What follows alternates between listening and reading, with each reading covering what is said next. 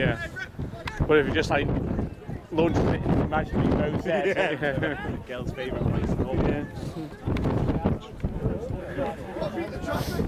Finished for the second one. Yeah. Soft hands. He cut him off, I think. Uh, Jim thought he was going the other way.